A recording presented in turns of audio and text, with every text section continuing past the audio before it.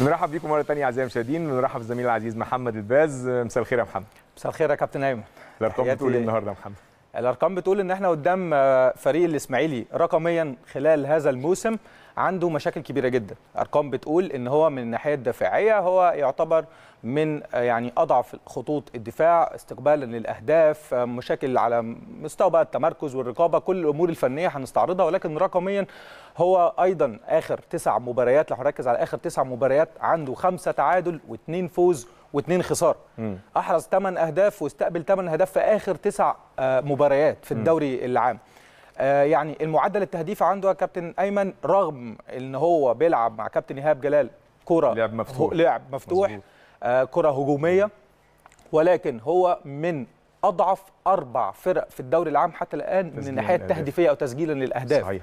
يعني مع الداخلية مع فاركو مع المقاولين هم أضعف أربع فرق من ناحية التسجيل الأهداف في الدوري هذا العام.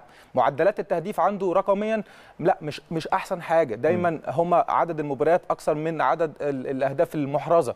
صحيح. فبالتالي ولكن عنده نقطة قوة الأرقام بتقول لنا عليها في نقطتين، النقطة الأولى هو من أكثر فرص. الفرق بالظبط من أكثر أربع أو خمس فرق آه، صناعة للفرص. صح. يمكن عبد الرحمن مجدي يمكن من أكتر اللعيبة في مصر اللي صحيح. صناعا الفرص دايما مساهم عنده صحيح. مساهمات كبيرة جدا في صناعة الأهداف أو حتى التمريرات المفتاحية. عبد الرحمن مجدي من اللعيبة البارزة في نادي الإسماعيلي وده واحد من مفاتيح اللعب.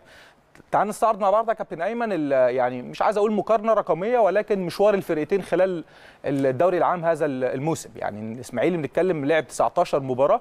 هو تقريبا من الفرق اللي خلاص يعني من أكثر الفرق لعبا للمباريات حتى الآن ما عندوش مؤجلات. الأهلي 11 الأهلي فاز في ست مباريات من ال 11 وعنده خسارتين زي ما إحنا عارفين وثلاثه تعادل.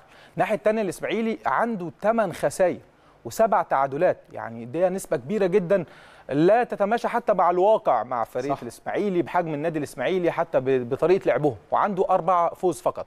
ترتيبهم في الدوري العام حتى الآن هم طبعا عنده 13 نقطة والرقم طبعا الترتيب تسع... آه، سوري آه، ترتيب 13 وعنده 19 نقطة. الناحية الثانية النادي ال- الأهلي يعني آه، بنفس الشكل. إحنا يعني نرجع بس شباب نبص على الأرقام. آه لسه إحنا بقى عايزين نقف عند مركز 11 نقطه الأهداف. آه. بالظبط النادي الأهلي نفس ال- الكلام. إحنا بنتكلم عنده 21 نقطة النادي الأهلي وترتيبه 11 في الدوري. بالنسبة للأهداف بقى كابتن أيمن ده أنا كنت بقول لحضرتك عليه. أحرز 18 هدف النادي الإسماعيلي في 19 مباراة. يعني مم. متوسط المباراة لا يعني ما يكملش هدف. بالظبط. أقل من هدف. بالنسبة للنادي الأهلي 24 هدف طبعا في ال 11 مباراة. ده الأهلي طبعا متفوق يعني فوق الهدفين. متوسط في المباراة. الاكس جي عند الإسماعيلي ده إحنا بنتكلم عليه. 44 هدف.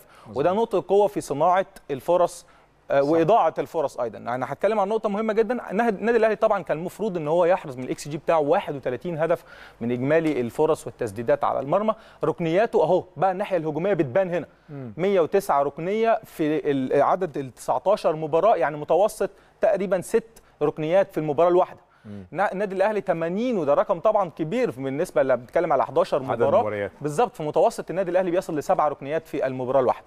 ال- صناعة الأهداف أو ال- ال- ال assist عند النادي الإسماعيلي 11 assist والنادي الأهلي 19 assist نبص بقى على التمريرات المفتاحية وده الرقم اللي أنا كنت بقول لحضرتك عليه. عند النادي الإسماعيلي رقم كبير بيصل ل 8 تمريرات مفتاحية في المباراة الواحدة. من واقع 154 تمريرة مفتاحية في الإجمالي 19 مباراة. الناحية الثانية عند النادي الأهلي النادي الأهلي الأفضل طبعا في صناعة الفرص حتى التمريرات المفتاحية عند النادي الأهلي. بنتكلم في 10 متوسط 10 تمريرات مفتاحية في المباراة الواحدة يعني 112 حتى الآن في ال 11 مباراة. ده بقى الرقم اللي كنت عايز اقف عليه يا كابتن أيمن. تحويل الفرص دي لأهداف. عند النادي الإسماعيلي هو من أضعف الفرق في تحويل الفرص الكتيرة دي كلها لأهداف. وده دليل إن هو عنده الأهداف المحرزة أقل من عدد المباريات الملعوب.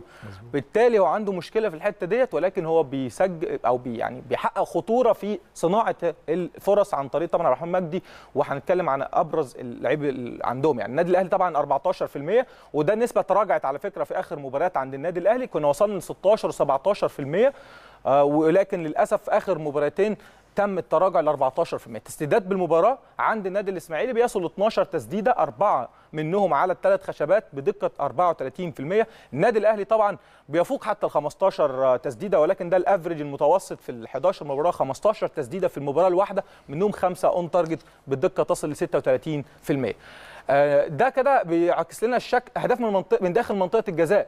يعني نتخيل إن الأهلي طبعا إحنا بنقول إن الأهلي أحرز 24 هدف منهم 23 هدف من داخل منطقة الجزاء من داخل ال 18 من واقع 113 تسديدة من إجمالي طبعا كل التسديدات عند النادي الأهلي في ال 11 مباراة. الناحية الثانية النادي الإسماعيلي إحنا قلنا أحرز 18 هدف منهم 17 من داخل منطقة الجزاء.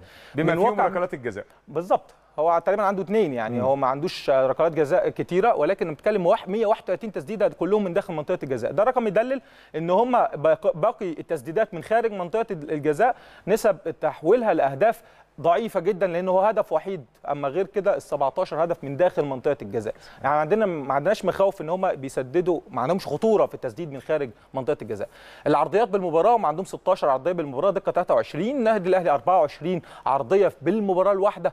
بيصلوا ل 24 كروس عندنا ده ده برضه رقم كبير جدا صحيح. الدقه عندنا هي اللي محتاجة شوية بس يعني يعني نظبطها شوية لأن وصلنا دقة 24% استحواذ الأهلي من أفضل الفرق في الاستحواذ آه، آه، على آه، في المباريات. يعني بنصل ل 60% الناحية الثانية الإسماعيلي بي- بيصل ل 56% لأن واقع التمريرات عند النادي الإسماعيلي أيضا جيدة. وده أسلوب لعبه. أسلوب لعبه. آه. يعني على عنده مدار لعيبة. السنين كلها ده مظبوط. أسلوب لعب النادي الإسماعيلي. مظبوط. يعني بيصل لدقة 81% النادي الأهلي دايما بيفوق ال 500 وال 600 تمريرة بشكل عام ولكن ال- التمريرات الصحيحة بالمباراة عند النادي الأهلي بتصل ل 462 تمريرة.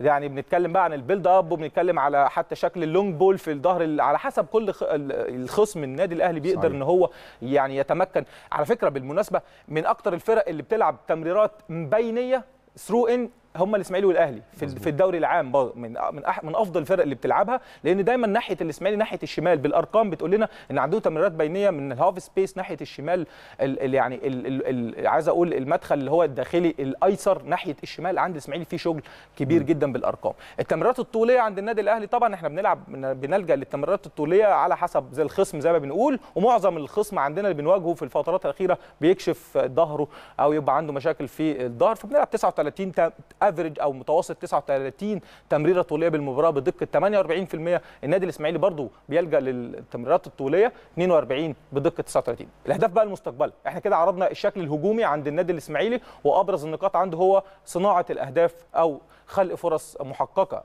واضاعتها أما الأهداف المستقبلة عند النادي الإسماعيلي طبعا من أضعف الفرق زي ما قلنا 22 هدف استقبلوها كابتن أيمن في ال 19 مباراة. النادي الأهلي استقبل 13 هدف في ال 11 مباراة وده برده رقم إحنا وقفنا عليه. علامة استفهام زي ما إحنا عارفين في الدوري العام. أما الأهداف المستقبلة المتوقعة تخيل كان ممكن يدخل في مرماهم 43 هدف. يعني من واقع التسديدات عليهم من واقع طبعا نسب ال- ال- الفوز الخصم أو الخسارة عندهم لأن عندهم خسارة كبيرة جدا زي ما قلنا عندهم 8 خسائر وعندهم سبع تعادلات. فالثمان خسائر استقبلوا أهداف واستقبلوا طبعا تسديدات بالتالي كان ممكن يصل ل 43 هدف في النادي الأهلي 19 هدف. شباك نظيفة متساويين إحنا طبعا عدد المباريات أقل 3 من 11 ده رقم كويس جدا. خسارة الكرة بالمباراة ما بيخسروا الكرة بشكل كبير جدا 42 مرة في المباراة الواحدة. يعني عايز أقول لك 80% تحت ضغط عالي عندهم شرس قد يولد خسائر. ل- للكره إحنا الاعتراضات عندنا وابعاد الكره هم أكتر. 20 مرة بي- بيشلتوا الكره ويبعدوها يا كابتن أيمن. إحنا النادي الأهلي من أفضل الفرق في إخراج أو تشليت الكره من من الخلف رقم 11 ده ده أقل رقم على فكرة في مقارنة بفرق الدوري. ده بيقول لك إن النادي الأهلي ما بيلعبش كره عشوائية من ورا. لا هو حتى بيقطع كورة ويستخلص الكورة وبيبدأ إن هو يبني الهجمة بشكل ممتاز. كويس جدا معكوس في التمريرات.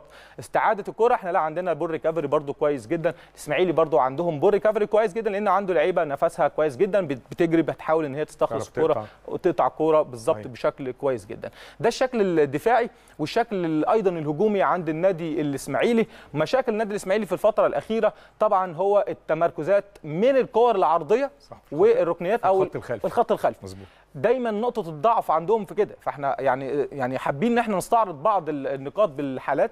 بتكشف لنا النادي الإسماعيلي أي كور بينية أو كور عرضية متحركة أو الكرات الثابتة عليهم بتشكل خطورة كبيرة جدا. لأن عندهم مشكلة في التمركز والرقابة. يعني دي برضو كانت في مباراه الزد. هم خسروا بالمناسبة من زد 2 1 آه، المباراة اللي قبل الأخيرة قبل الاتحاد. آه، ده كابتن أيمن بوست كانت عرضية نفس الكلام. شوف هم قد يبدو إن في هم ثلاثة على ثلاثة هنا ولكن الثلاثه على ثلاثة ما فيش رقابة آه، لاصقه أو آه، بشكل دقيق. بالتالي الكره بتنزل بسهولة جدا واتلعبت على المرمى وشكلت خطورة و- وهدف. نكمل برضو الحالات. ده معظمها كانت كرات عرضية. آه، متحركة يعني نفس الكلام. عندهم مشكلة برضو تانية أي كرة عرضية عندهم بالشكل ده كابتن ايمن بيخسروا الكرة الثانية يعني في حالة استخر... آه، يعني آه، خروج الكره نكمل بتنزل على ال 18 الكره الثانية second ball عند الإسماعيلي. معظمهم فيه مشكلة. لا نرجع تاني نمشي الحالات بسرعة. يعني بعد كده هي كابتن ايمن أيوه. في حالة أي عرضية لا إما تشكل خطورة ويتم إحراز هدف أو يعني يصدها الحارس أو ثلاث خشبات أو يا كابتن ايمن لو استخرجوها بتنزل كرة تانية بتبقى بتاعة الخصم. وحتى الكرات الطوليه خلي بالك الماتش اللي فات ده مثلا ما بقولوش هي دي. آه هيجيب بقى الحالة دي من الأول. يلعبها بالعرض. بالظبط يعني هات الحالة دي. أهي. أهي يا كابتن ايمن أيوة لا. دي دي كانت ماتش زد لسه. آه واللي حضرتك قلته ده فعلا اتكرر. أدي شكل أيوة. والشكل هنرجع له بتاع مباراه الاتحاد اللي فات. مباراة الاتحاد. بالظبط ومبلول راح منها. أهو نفس الشكل. نفس الكلام يا كابتن ايمن أول ما الخصم يقطع الكوره بضغط عليهم دايما بيلعبوا low block على. sorry mid block الإسماعيلي بيلعب mid block بشكل كبير جدا. الكرة تتقطع منهم تتلعب على طول في ظهرهم بيبقى في مساحات بيبقى عدم رقابة بشكل دقيق بيروحوا ويشكلوا خطورة كبيرة جدا. نفس الشكل تعالى أهو. نفس. ال copy بالظبط copy paste. نفس الشكل يا كابتن أيمن وده برضو من نقاط الضعف عند النادي الإسماعيلي. يقطع كورة في نص الملعب بسرعة ودقة اضرب بيها ال offside هتلاقي نفسك عندك مساحات إن أنت تبقى مواجهة المرمى.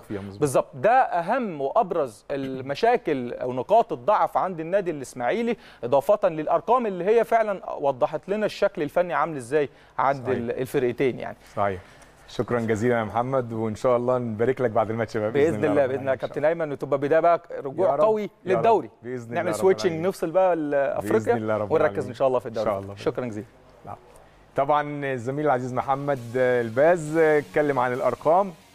والأرقام لغة.